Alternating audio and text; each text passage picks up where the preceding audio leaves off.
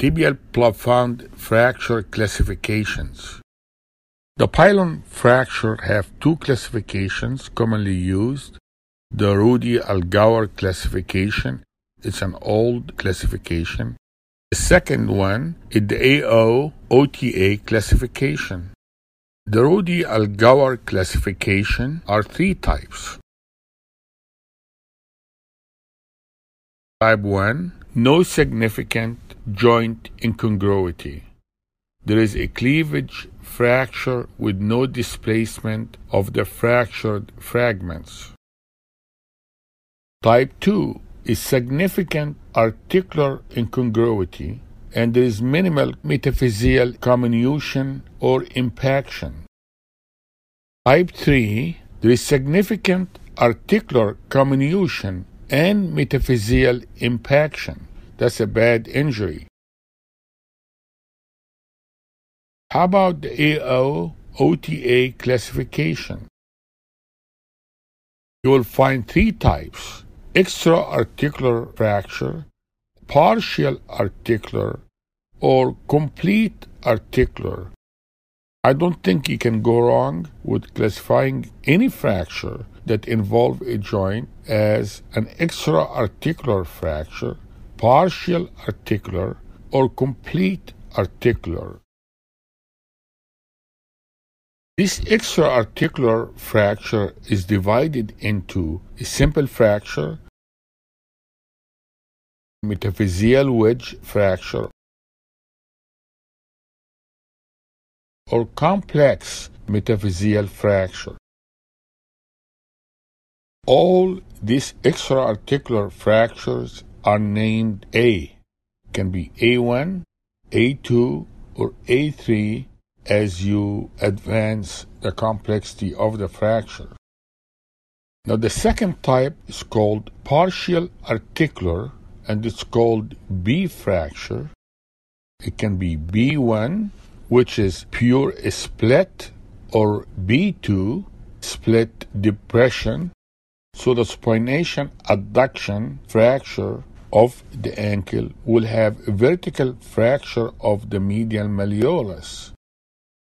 The anteromedial portion of the plafond may also be impacted. So that looks like a split depression fracture. That can be a B2 injury. That's why that fracture shows up in classic orthopedic examinations because you can miss this depression or impaction. What would you do after fixation of that fracture? You probably need to revise the fixation and make sure you elevate that impaction or the depression and restore the joint congruity before you fix the fracture. And when you fix the fracture, make sure you fix it with a plate or with screws. The screws have to be parallel to the joint to compress that fracture, and the plate will be an anti glide plate. The B3 fracture in partial articular will be a multi-fragmentary depression fracture, not a single piece but multiple pieces. The C fracture is a complete articular. It is distal.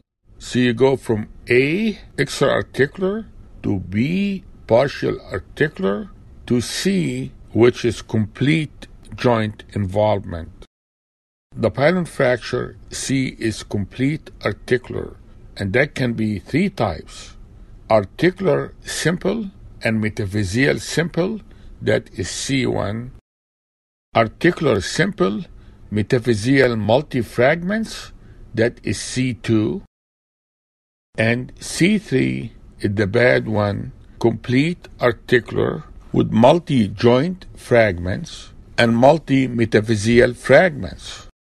That is the C3. It is the most difficult fracture and it probably has the worst prognosis. Classically, there is a typical pilon fracture fragments, and usually there are three main joint fragments. The three fragments are the medial malleolus, which is attached to the deltoid ligament, the anterolateral fragment, which is called the Chaput fragment, and it is attached to the anterior inferior tibiofibular ligament. The Volkmann fragment is the posterolateral fragment and it is attached to the posterior inferior tibiofibular ligament. This is a diagram representing pilon fracture with the three main fragments. In this CT scan, you can see the three fragments of the pilon fracture and also you can see the joint impaction.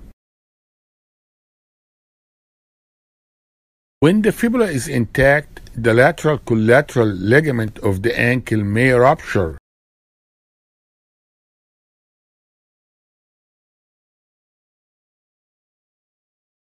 Thank you very much. I hope that was helpful.